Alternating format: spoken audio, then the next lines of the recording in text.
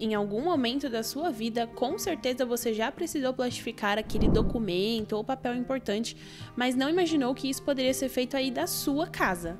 Falaremos sobre a Vision G10, a plastificadora da PPTech, disponível em duas voltagens, 110 e 220 volts, que pode plastificar desde uma carteirinha escolar até um cardápio no formato limite A4. Você também encontra na Calunga o modelo Vision G15 para papéis até o formato A3.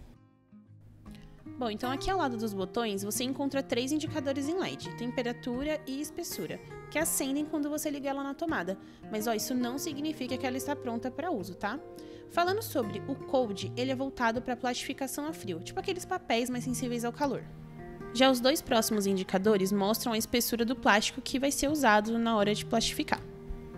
Agora falando sobre os botões sensíveis ao toque, com o Hot você seleciona a espessura do plástico e assim que selecionado, ela inicia a preparação de temperatura.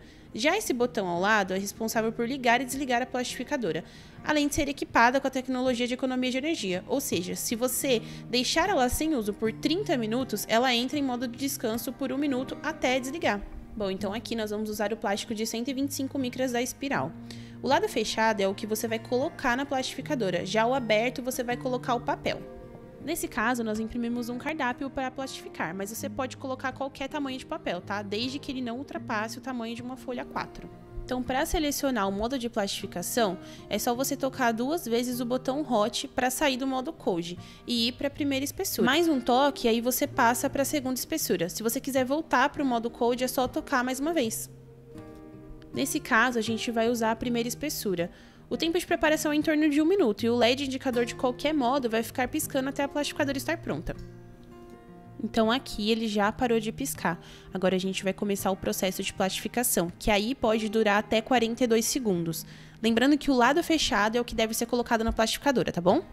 Prontinho, com um processo bem simples, você consegue plastificar em casa. Ó, podem ver que o nosso cardápio agora está muito mais resistente e profissional. Ah, e caso você tenha algum problema de atolamento durante o processo de plastificação, a alavanca de segurança te ajuda a reverter esse processo, beleza?